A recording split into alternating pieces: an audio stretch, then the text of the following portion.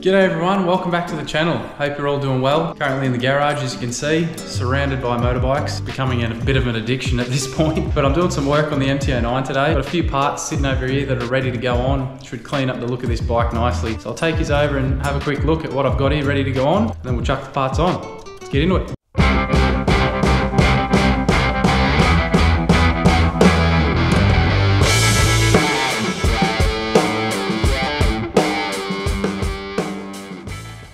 I really need a workbench in this shed, it would make this much easier. But anyway, first thing I've got here, just some tank gripper pads that I got off Amazon. They were about $20, $30. So that'll be a nice easy one to kick things off. Secondly, I've got this tail tidy kit from Mustard Bikes. That'll clean up the back of this bike really nicely. That stock thing on the rear looks disgusting, so I cannot wait to get that off. And the third and final thing I got here, just from Rogue Motorcycles, just some uh, bar end mirrors, so they'll look nice on here. The mirrors that are on here work really well, but just the look of the bike, they don't look that great. So I think these things will clean up the look of the bike as well and should look really good. But anyway, we'll jump straight into it. I'll get those tank gripper pads on first, nice and easy one, then the tail tidy, and then we'll do the bar end mirrors last. So I've just opened up these tank gripper pads, and yes, if you're wondering, I am wearing a helmet to video this and install this. Things you do for the shot.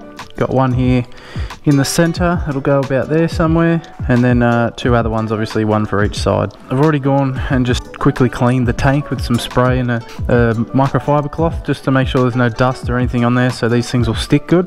So obviously being some just cheap ones off Amazon, there's no instructions of how you should go about sticking these on. Pretty straightforward I guess, you just peel the back off, slap them on there, away you go. But what I've gone and done, I've gone and confiscated the Mrs. Hairdryer. I'm going to use this on heat just to heat up the back of these tank gripper pads on the glue there. Should make the glue nice and soft and hopefully help it stick a bit better to the bike.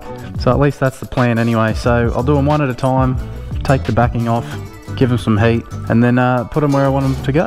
But I'll do this middle one first, should be easier and then uh, we'll try and line these side ones up so they match perfectly either side.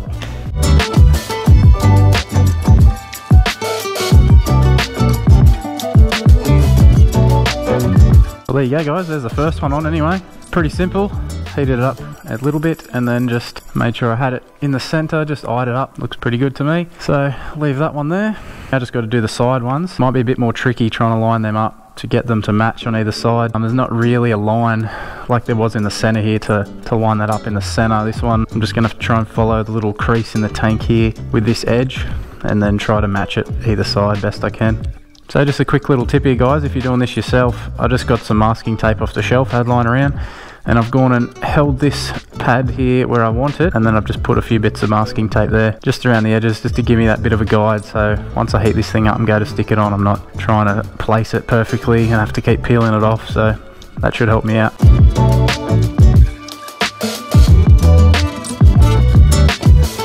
Oh, there's that first side done. Do the exact same thing on the other side. Then the tank pads are good to go.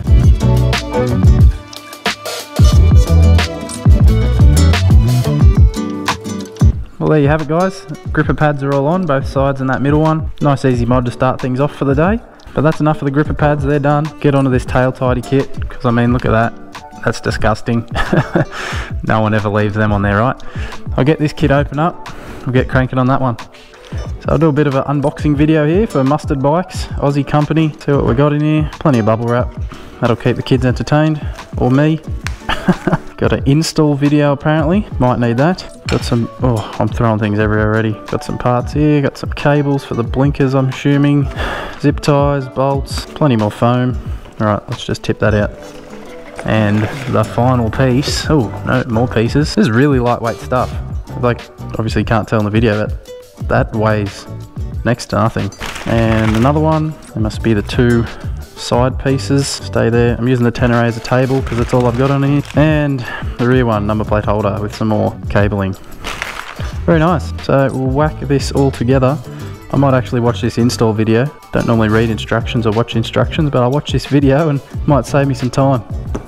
So I've just decided I'm going to watch the video, the install video on my phone, and I'll just do each step as I watch it, rather than having to go back and keep watching it again. It doesn't seem like a hard process to install this anyway, but it'll just save me some time rather than having to go back and forth. So we'll get into it. First step is take this seat off and undo some bolts and pull out the existing stuff, and then we'll get the good stuff on there.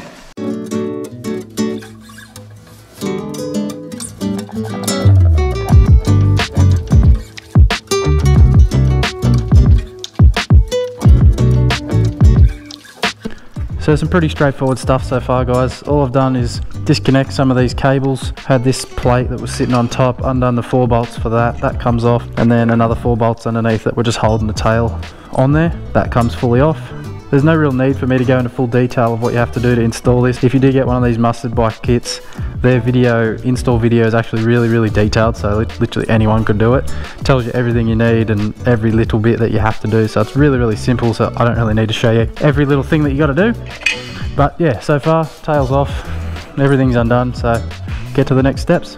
So here's where I'm at guys, I didn't film putting all this together, as I said, Mustard Bikes video is uh, more than enough for that, it's pretty detailed, so all I've done is just pull apart the old tail, apart from the number plate, I've got to get that off after, but put together all the new bits, put the blinkers back in, I think there is a different kit if you want to use uh, some aftermarket blinkers, but I'm just keeping the standard ones. I think they look fine. I just put some tape on there and wrote right and left, so I knew which one went where. Ran all the cables, um, and yeah, now it's time to chuck it on. Do all the bolts up, plug all the cables back in, put the number plate on, and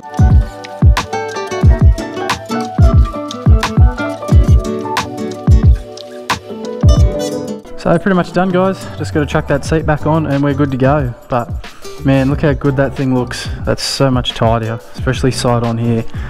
Man, that makes such a difference. Really simple install that one guys. Just use the bolts that they sent me then, bolt that tail actually back on there, and then the number plate, use the existing bolts for that. And then all I had to do is plug the wires back in, cable tie them in place, and then put this seat lock mechanism back on with the bolts that came out of there.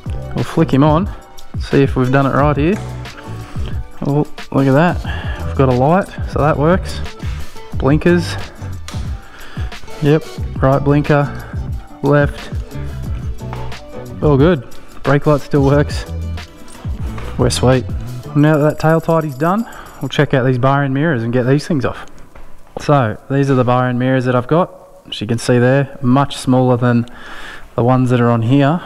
To compare, I'd still like them to be a bit bigger for functionality, but they're going to look nice anyway. But yeah, looking online, there was a bit of confusion of what bar ends in some kits actually work. So I wasn't too sure if these were even going to work. So as you can see over here, I've already done one side. I wanted to see if they'd work off camera before I go and take all these off as well. But yeah, really easy. I just took the original bar end off and used the original uh, bolt that was holding it on there. Pulled all of this stuff off this one so it didn't have to go inside of it. And just use the original bolt straight in tightens on the end there works fine. So hopefully it works on the throttle side but I'll give that a go now. And uh, yeah then we can just take these ones off. I'll have to order some some caps or some other black bolts that go in here to cover off the tops of them once these come off. But yeah really simple install. Took like a minute. We'll go and get this other one on see what she looks like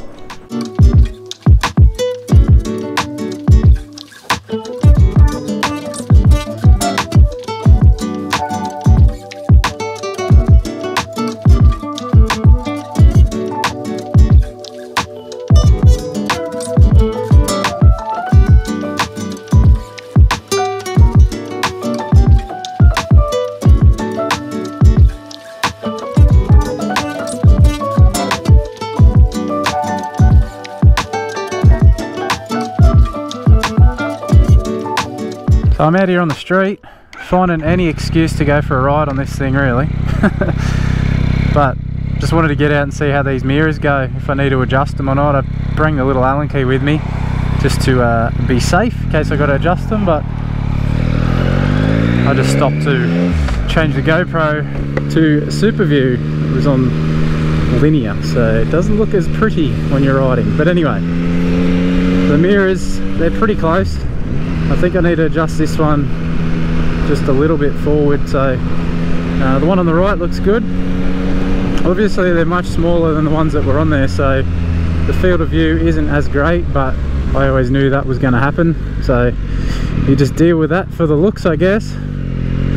But I love it. I love the look of how it looks now with, with these bar end mirrors tail tidy and these gripper tank pads. They're good. Stopped from sliding forward as much when I'm braking. Not that I'm in race mode and braking super hard, but it just stops you from sliding forward that little bit. It feels nice. But that's it guys, that's the first mods for the MT-09 for me. Three pretty good mods I think. That's probably pretty standard that most people are going to do those. Tail tidy. No one likes to look at that standard thing. Uh, the bar end mirrors clean the bike up really nicely as well. I'm not sure what the rules are on the whole bar end mirrors things, especially in Queensland. But I've seen plenty of other bikes around with them on, so they must be able to run them without too many issues. But we'll see how that goes, won't we? and the gripper tank pads, most people do that on these bikes too, so three pretty standard mods, but thought I'd run you guys through it and keep you updated on the old MT-09. She's a bloody good bike, I'm loving it. Yet to see what she can fully do, but I'm just loving being out on it, man. So good, so much fun. But enough from me, guys. Thanks as always for watching. I hope you enjoyed that one. Hit the subscribe button too, because I'm sure there'll be more mods coming for the MT-09. You know what it's like when you got a bike. You can't just stop at one thing. It just keeps on snowballing and snowballing, and it'll be fully modded before you know it. Hit the like button for me, guys. Appreciate it a lot. And uh, yeah, I'm off to have some fun. Ride safe. Catch you around.